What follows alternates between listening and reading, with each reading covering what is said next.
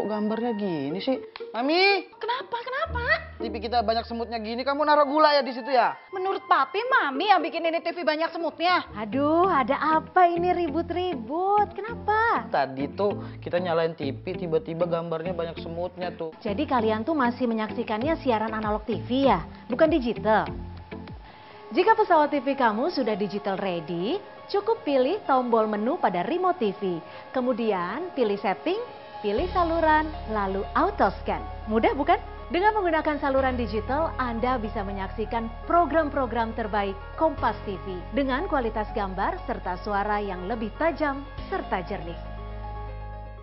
Sambut era TV digital bersama Kompas TV.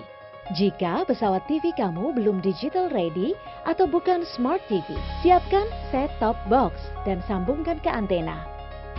Kemudian pilih tombol setting pada remote TV, lalu tekan auto scan. Jika pesawat TV kamu sudah digital ready, cukup pilih tombol menu pada remote TV.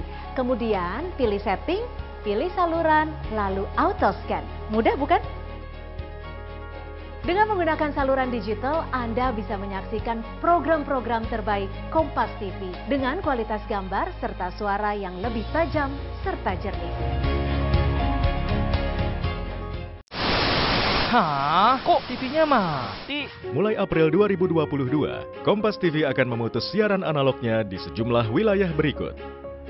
Jika pesawat TV Anda belum digital ready atau bukan smart TV, siapkan set-top box, lalu sambungkan ke antena. Kemudian tekan tombol menu pada remote TV, pilih setting, lalu tekan auto scan.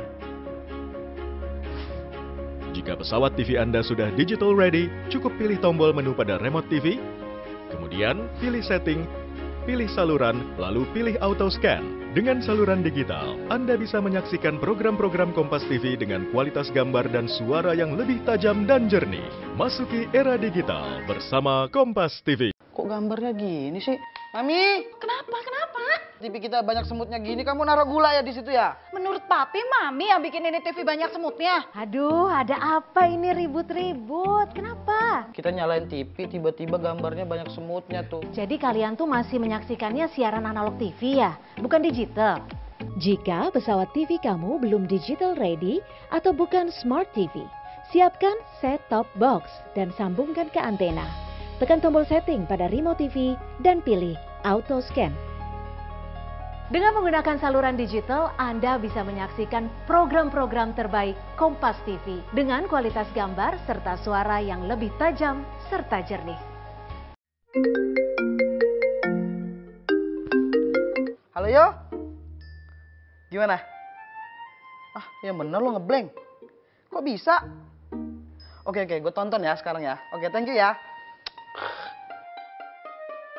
Kok gambarnya gini sih? Mami, Aduh papi, kenapa sih Nadia tinggi gitu? Kenapa? Kenapa? ini kamu lihat deh, masa TV kita banyak semutnya gini, kamu naruh gula ya di situ ya? Menurut papi, mami yang bikin ini TV banyak semutnya. Enggak loh, ini mau nonton Kompas TV jadi nggak bisa loh. Ah, Aduh, ada apa ini ribut-ribut? Kenapa? ini tadi tuh kita nyalain TV, tiba-tiba gambarnya banyak semutnya tuh. Tapi dia nyalahin aku terus, Kak. Oh, jadi kalian tuh masih menyaksikannya siaran analog TV ya, bukan digital.